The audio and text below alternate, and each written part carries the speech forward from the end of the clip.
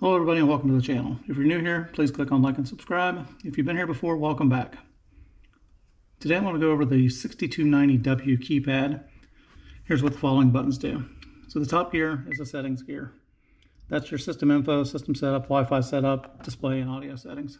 You can turn your brightness up and down from here, and you can turn your volume up and down from here. To get back out of here, you either hit the back arrow or the home key. Anytime you get somewhere on this keypad, if you hit something by mistake and you don't know what to do, don't panic, just hit the home key. It'll always take you back to the front page again. Now the second button down on the left, um, this has a memory card slot on the side, so it's an SD memory card. It does not come with a memory card, you have to put your own memory card in here, and it will only support up to a 16 gig memory card, so if you try to put something bigger like this 128 in there, it'll boot out and it won't let you put it in there. What this does is it pulls up multimedia files, your files have to be saved as PNG files also, which makes it even more complicated. Again, I'm not sure why Honeywell put this on there, but this is what it does. So when you click on that, if you've got your family photos saved in here, on this little memory card, you can hit the play button, and basically it'll do a little screensaver of your family photos scrolling throughout. That way you're not looking at the basic Honeywell page. But as soon as you click on it, you still have to hit the home key to get back to do any of your other features on here. Bottom left-hand side, there's an exclamation in a triangle with a circle around it. That's not to be confused with the exclamation with the circle around it. Now again, this is another feature Honeywell did. I'm not sure why they did it because it's kind of confusing. The left one is your panic button. So you have to press that and then to set off the alarm you would push and hold the button. Now depending on how your installer has it set up, you may have a silent panic, you may have an audible panic. You can set this up different ways depending on how it's set up in your house, but you would just push the according or the appropriate button, press and hold, and it would set off the alarm. You can't just tap it. You have to press and actually hold it down for it to go off so you don't have to worry about someone accidentally. Like if a kid gets in there and starts pushing buttons, it's not going to mess anything up. Again, back arrow or the home key. Starting on the top right hand side, you've got these little windows. If you click on the little windows, this takes you up to a multi-partition. Now, multi-partition, most people don't have this in your regular home. This is more of an office setup, or maybe if you have a guest house or a mother-in-law suite, you can actually arm part of the house on partition one, part of the house on partition two, and each one of you can independently operate both sides of the house without interfering with the other one. Again, that's more of an apartment, studio apartment, uh, secondary room. You could actually do a room in your house, like a bedroom. You could put it on one partition, and only one person will be able to arm it, disarm it. That's a whole different subject. We're not going to get into, into that today. Next button are the three little dots. If you're an Android user, if you're using an iPhone, a lot of times you'll see the three dots. You know that's some sort of a special menu. So that brings up an event log menu, a console mode, and a show zones mode. Again, we'll go over all these independently, just so you're getting familiar with the home page right now. Bottom right hand side, PHH.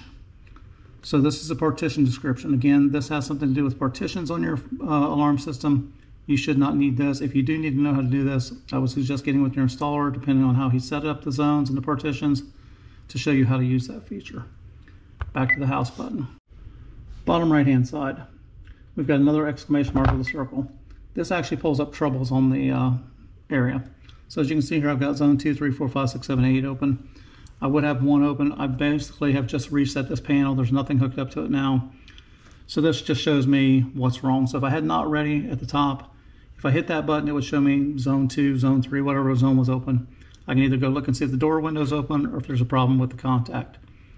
If for some reason I want to leave that window open, let's say it was a bedroom window, I could pick on the bedroom window and then I could hit the bypass selected. That would bypass that one zone and actually let me arm the system without interfering with anything else. The other thing I can do is bypass everything. I'd enter my code and that would bypass all those zones until the next morning. Once you disarm the system, all the zones have to be bypassed again, so you have to do them one at a time, or daily, I should say. So let's say you've got a broken sensor and you're waiting on someone to come out. Every day you arm it, you would have to bypass the zone. Once you armed it and disarmed it, it would go back into default again. You would have to bypass it again. We've got a microphone down here with a circle around it. If you click Disarmed. on that, not ready to arm. It's inaudible, basically, so it'll tell you what's wrong with it. So the last one on the bottom is this little media icon. If you click it, there's actually introduction videos, training videos uh, you can do. So if you want to do a training video, you could click on that. It would come up and tell you how to arm or disarm your system, how to set up your Wi-Fi, how to do your user code. Basically, most of the stuff I'm showing you here it shows you how to do digital picture frame training. So it shows you how to do the media card. So when you press the settings gear, that gives you multiple choice information up here. So you can do system information, system setup, system Wi-Fi, or display and audio setup. All right, so we're gonna start with the obvious one, display and audio setup. I'm gonna enter my code. My default code is one, two, three, four. Whatever your code is, is what you would enter there. On the left-hand side, you can turn the chime on and off. Uh, you can also turn on the voice mode or voice chime. So if you just wanted to talk to you, you don't want it to ding, you just want to say front door open, you would click on voice mode front door open, back door open, whatever zone's open at the time.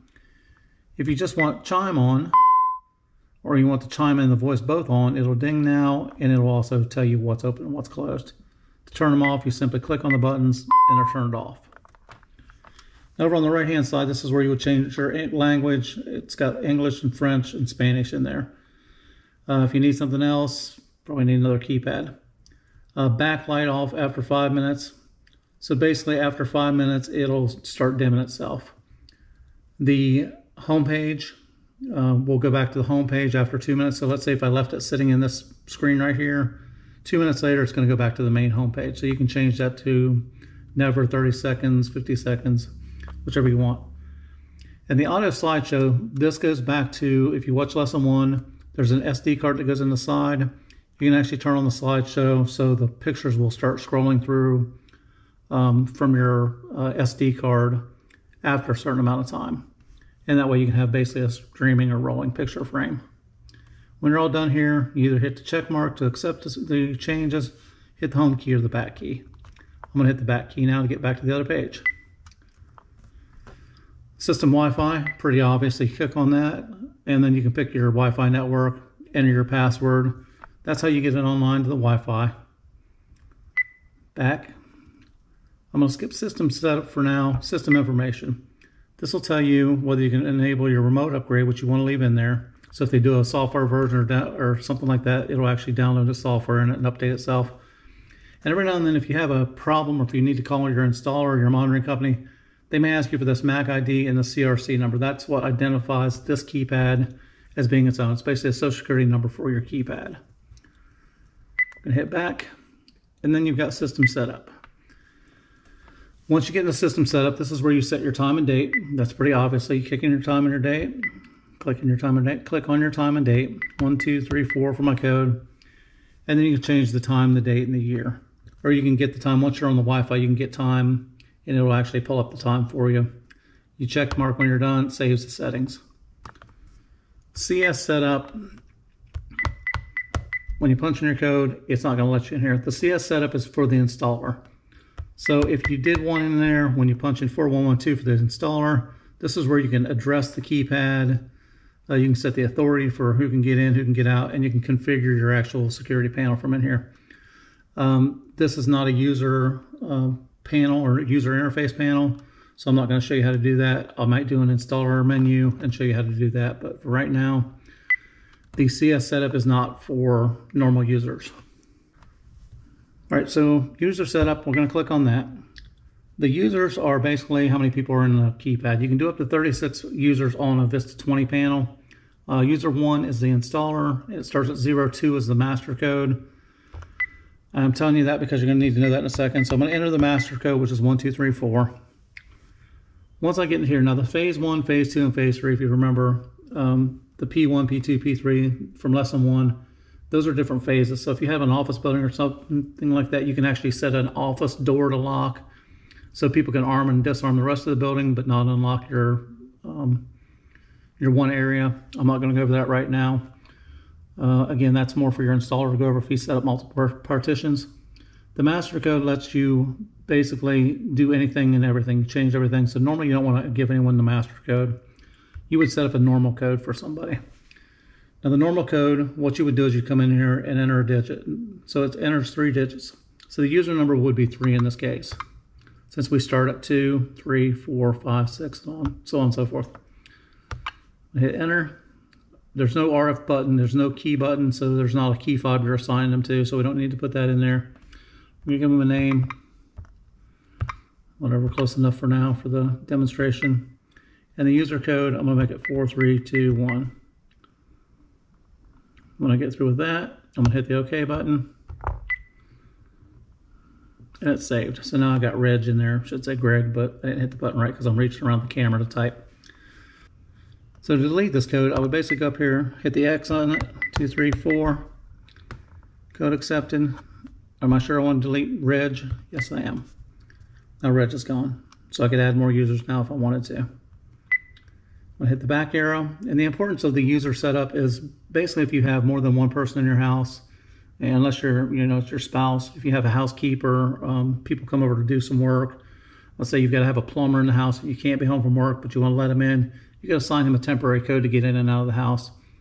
If you have a monitoring company, the monitoring company can actually tell user two, user three, user four, armed or disarmed your system. So you would know who was in, who was out. And you can also delete it when they're done. So the last thing we need to go over in here is the advanced setup. We click on that, enter our code. Once we get in the advanced setup, this is your power mode setup. So basically you can turn on power savings. Um, it'll go to sleep faster, your night setup. Um, when you push night, like when you're arming the system, you can set this up to do different things. So you can set the night mode to just do stay or away. You could do instant or you can do maximum. Maximum arms everything in the house, including the motion sensors. Instant will put you in a stay mode, but leave the, the uh, inside motions alone. Uh, most of the time, don't want to mess with the setting, but that's what it's there for. And keypad reset basically defaults all the settings back to normal. We don't want to hit that right now. So why you'd want to put this feature in here, I'm not sure, but anyhow, I'll go over it. So as I explained in lesson one, you go, you've got to use a memory card. So it doesn't come with an SD card. You have to use a micro SD card, which is a small one. It's recommended to use an 8 gigabyte SD card, which is really small, but if you're only putting pictures on there, it's not going to matter. So when you click on this file, once you put in your card, and again, this has to be saved as a PNG file. Um, if you've got pictures that are saved and they're not PNG format, if you pull them up in like Microsoft Paint, you can save them as a PNG, download them to the memory card and put them in here. But it's a pain in the butt to transfer back and forth. There's no way to Wi-Fi connect to it. You can't just transfer files back and forth. Um, hopefully one day they'll get caught up on their technology, but right now they're not. Either way, when we click on this, this is the few pictures I just saved off the internet. So this is what's in my folder right now. When I hit the play button, this is basically what it would look like on your screen. So if this is on your wall and you got your family photos in there, this is what would pan through over and over and over. So to turn this feature on, this was in lesson two. If we hit the settings gear, we go into the display and audio, enter our code. Once we get in here, on the bottom right hand side, it'll say start slideshow. So I'll put the start slideshow after 30 seconds. I want to make sure I hit the check mark button so I save it. It should say information saved on there. I want to hit the home key and then we're going to wait patiently for 30 seconds.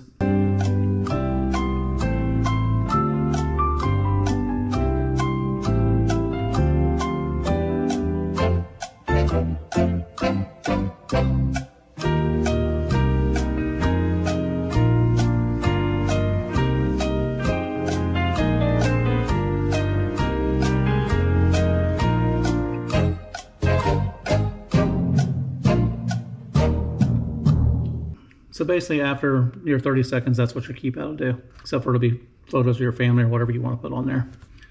Tap the home screen, comes back up to the home page. To turn that feature off, same thing, you'd hit the gear, display audio, your code, and then you would just go down here and hit never again. Or if you want to do five minutes or three minutes or whatever you want. I'm gonna hit the home key, Today's lesson is going to be on this bottom left-hand icon, which is an exclamation mark with a triangle and a circle around it. This is a pretty fast and easy lesson. This is a panic button. Now, depending on how the installer's got this program, you might have silent panic, audible panic. Uh, you can have an emergency button set up on here. But basically what you do is you press and hold the button. It sells off panic, sends out a signal to the monitoring company. It never makes a noise inside the house. Um, if you've got the audible panic on, basically it will set off the alarm inside the house if the siren's going off inside the house and it will also call the monitoring company. So this lesson will be fast and easy. Uh, since we're not going to get into this too much again, whoever puts in your security panel on these partitions should explain to you how to use these partitions. But again, this is more for an office building or somewhere where, let's say you have an office in the front and a warehouse in the back. You want the people to be able to get in the warehouse, but you don't want to be able to get in the office. You create multiple partitions.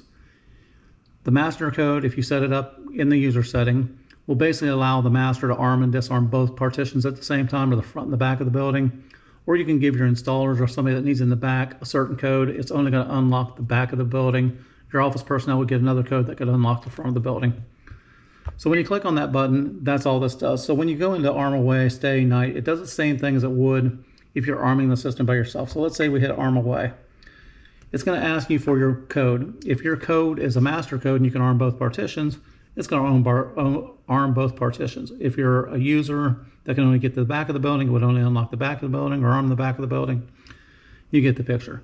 So basically, fast and easy works almost exactly like the regular arming and disarming, except for you don't have to do that. So I'm going to hit the three little dots over here. This is going to take us to three different sections to get to. I'm going to go over the fast and easiest one first. That's the show zones. When you click on the show zones, it's basically going to show us anything that's open or we have a problem with it. So if we've got a problem with the console or something like that, or let's say we got a zone open, this will let you get in and figure out, uh, once this is programmed, if your installer does it right, it shouldn't say zone 5, it should say like master bedroom or kitchen or dining room. If for some reason you know for a fact that's supposed to be open, let's say that's a, that's a master bedroom window, when you click on that, you can hit bypass. It's going to ask you for your code. You can punch in your code and basically that will take that zone out of there.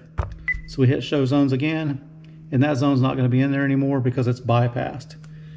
It's got a little tiny icon up there that changes. And that way you can actually leave the bedroom window open all night long and arm and disarm the system. Once you arm the system and disarm the system, it goes right back into trouble again. So you have to bypass that zone every time you want to do it.